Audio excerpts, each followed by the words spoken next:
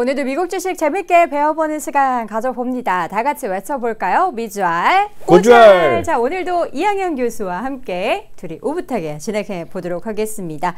자 미주알 고주알 매일매일 다른 주제로 저희가 미국 주식 이야기 나눠보고 있는데요. 매주 월요일에는 한 주 동안의 월가의 핫했던 이슈 정리해 보고요. 화요일에는 미국 주식 알려드림이란 주제로 기업이나 ETF 분석해 봅니다. 수요일에는 가는 종목 알려드림이란 주제로 월가 추천 기업이나 ETF 분석해 보고요. 목요일에는 우리 시청자분들의 미국 주식 관련한 궁금증 해결해보고 금요일 오늘 이 시간에는 이번 한 주 동안의 베스트 worst 기업 세 종목씩 확인해 보도록 하겠습니다.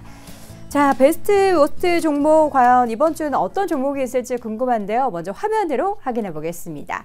자, 이번 주 베스트 종목은요. 우버와 쇼피파이 그리고 AMD고요. worst 종목은 리프트, 언더아머, Bed Bath and Beyond 보도록 하겠습니다. 어, worst 종목부터 세 가지 볼 텐데요. 리프트, 리프트가 우버보다 더 일찍 상장한 공유 경제를 실천한 그런 기업인데 리프트가 왜 안 좋았죠? 네, 그러니까요. 그 우포트, 아, 제 우포트가래요. 말이. 섞었나요? 우버와 리프트. 예, 죄송합니다. 우버가 이제 먼저 만들었고요. 음. 먼저 생겼고 1위 업체가 맞고요. 네. 리프트는 이제 2위 업체입니다. 근데 상장은 작년에 좀 먼저 했어요. 두. 달 정도 먼저 네. 해갖고 정말 관심이 초미의 관심을 어, 받았던 기업인데요. 음.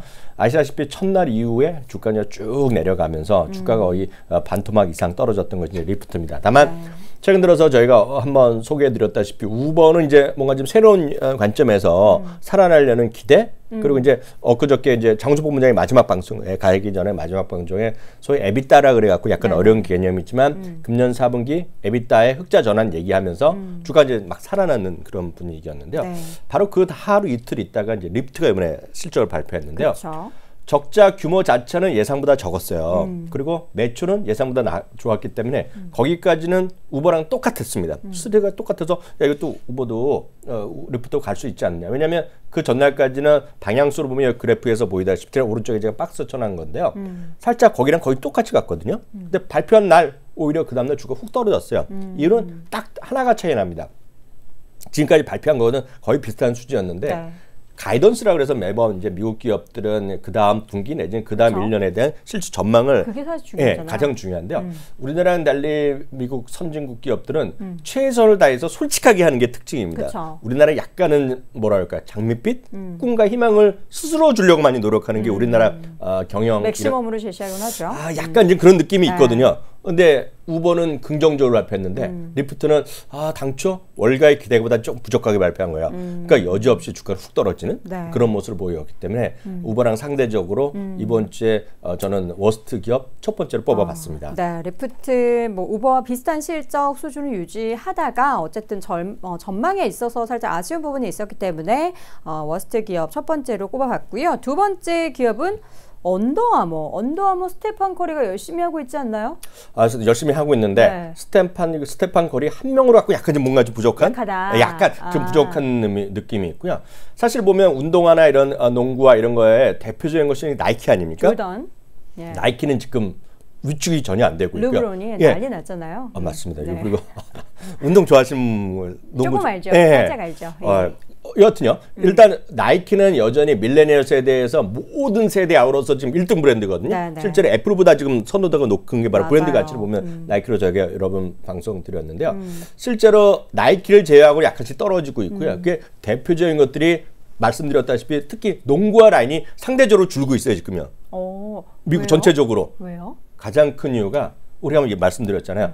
에슬레저 수주에 밀리고 있는 겁니다. 에슬레저 룩, 에슬레저 기억나시죠? 아, 언더아머나 네네네. 그런 류 애들의 네. 음. 브랜드 대비 약해지는 거예요. 그렇죠. 룰루레몬이라든가 한번 또 말씀드렸다시피 그런 좀 가벼운 거 한번 수 있는 저희가 한번 거. 말씀드렸던 시피 네. 그 브랜드로 보면 스케쳐스 한번 말씀드렸잖아요. 음. 스케쳐스 브랜드가 선호도가 높아가는 것이 하나의 또 특징이 되겠고요. 또 하나 약간 운동화 아니지만 좀 가볍게 도시형으로 입는 게 반스 기억하시죠? 그쵸, 그쵸. VFC 그쪽은 좀 점유율이 올라가고 선호도가 높아지는 반면에 순수 나이키를 제외한 운동화 라인이 약간 떨어지는 거예요. 지금 추세, 추세 트렌드거든요. 아. 네. 거기에 이번에 정확히 나타났고요. 특히 그러다 보니 언더아머는 소위 농구이기 때문에 농구에 집중돼 있고 말씀하신 스테판 커리에 집중돼 있었기 네. 때문에 중국에서에 대해 비중이 높았거든요. 근데 이번에 코로나 바이러스 때문에 그런 것들을 약간 좀 어려움을 겪고 그에 대한 경고를 스스로 또 얘기했어요.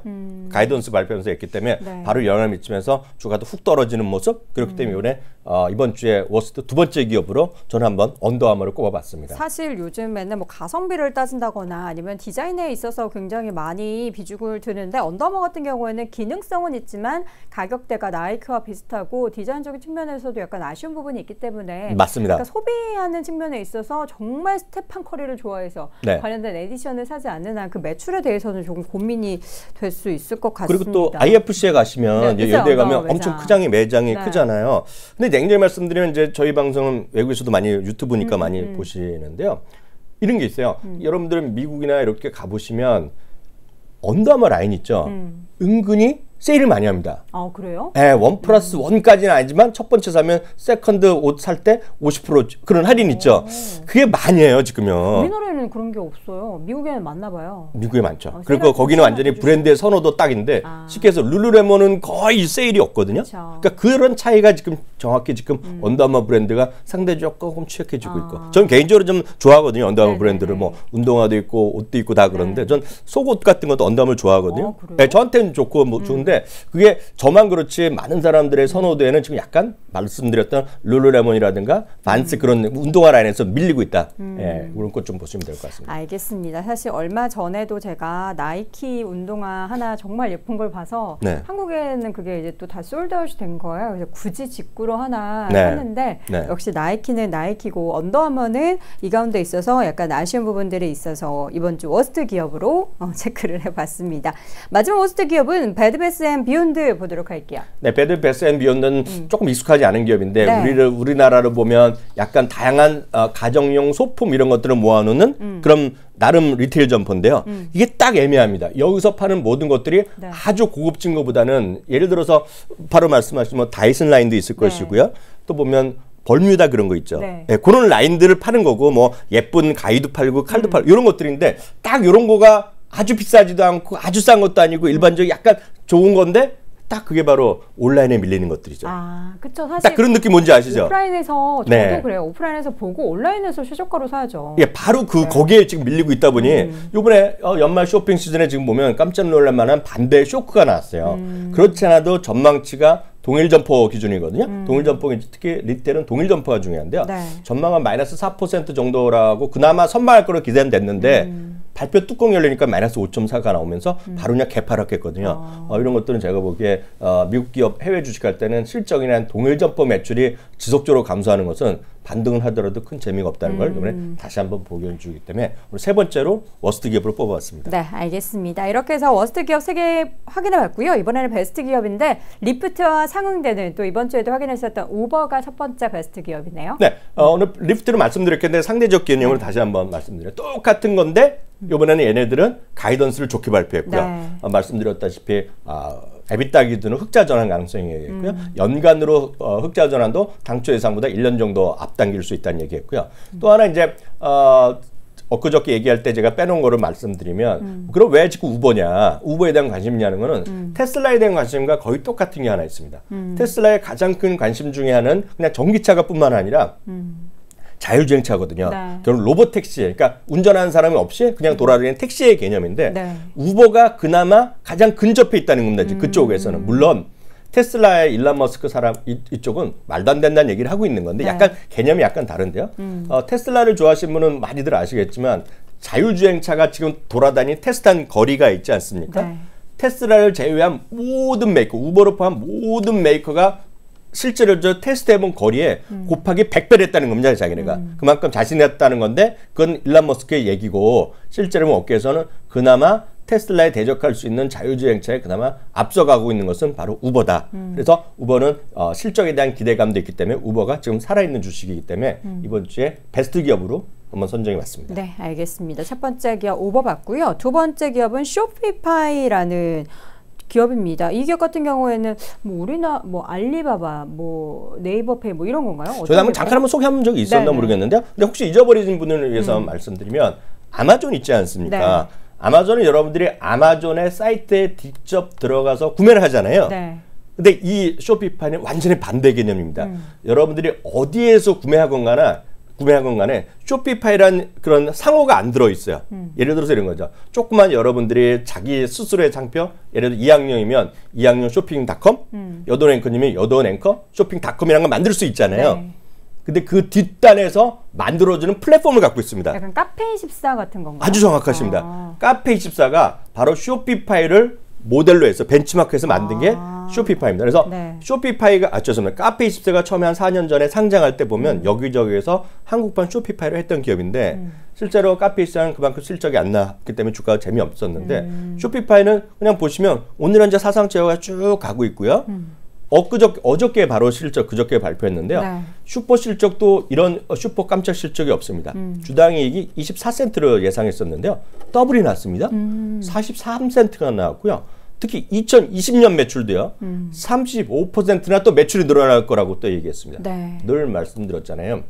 어, 경제 성장률 곱하기 10배 이상이 나오는 겁니다. 음. 이런 거가 진짜 성장주거든요. 네. 음. 그러다 보니 갭상승이 바로 튀어나오는 거죠. 그러니까 이런 것이 바로 여러분들이 주목하셔야 될 네. 성장주다. 한국 주식도 마찬가지예요. 숫자가 떨어지는 기업이 성장주다.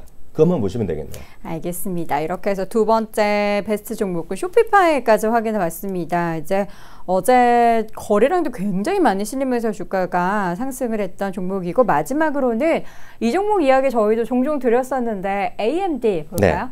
네. AMD는 이제 아시다시피 이제 그 출신은 대만에서 네. 태어나셨는데요. 제가 알기엔 두 살 때 이제 미국으로 이제 부모님 이민 가면서 음. 거기서 이제 계속 공부하신 리사 수 박사. 가 이제 이거 하고 있는 거죠. 네. 어, 사실 오늘 보면 한쪽에서는 AMD가 있고요. 기존에 어, 여러분들 인텔의 경쟁도 음. 이렇게 있고요. 게임이라든가 이제 장호섭 본부장이 매번 얘기했고 아드님이 게임을 좋아하지만 할 수 없이 쓴다는 엔비디아 같은 경우가 네. 오늘 또 혹시 보신지 보신 분 계시겠지만 오늘 또또 깜짝 실적을 하면서 오늘 또 시간에서 급등했거든요. 어. 근데 오늘 AMD는 그런 건 상관없이 최근에 다시 달리고 있습니다. 음. AMD는 작년에 S&P 500 기업 중에서 가장 많이 오른 주식인데요. 음. 올해 약간 주춤만 하듯이 지금 다시 달리기 시작했는데요. 음. 역시 어, 보수적 가이던스를 항상 합니다. 여기는 음. 가이던스적 보수적 가이던스는 나오면서 조금 실망스러웠지만 조금 지나면 다시 사상제 효과를 가는 건데 음. 지금 이번에도 여실히 지금 그런 움직임을 보이고 있기 때문에 어, 아마 엔비디아 이번 주 다음 주 하면 엔비디아가 또 깜짝 시, 그 베스트로 보일 가능성이 있겠는데 역시 네. 지금 시장은 기술주의 시장 주도가 계속 이어지고 있고요. 그런 관점에서 어, 엔비디아가 됐건 AMD가 됐건 여러분들 좀 각국씩 갖고 계시다 그러면 그냥 지금 팔 타임이 아니라고 보겠고요. 혹시라도 지금 기술주나 미국 주에서 관심 있으면 첫 번째 주식으로 여전히 할 만한 주식이 AMD랑 엔비디아다 이렇게 말씀드리고 싶네요. 알겠습니다. 자, 이렇게 해서 오늘도 금요일 이 시간 worst 그리고 베스트 세 기업씩 꼼꼼하게 확인을 해봤습니다. 다음 주에도 우리 이한 교수님과 함께 위주얼 고주얼 진행해 보도록 하겠습니다. 오늘 말씀 고맙습니다.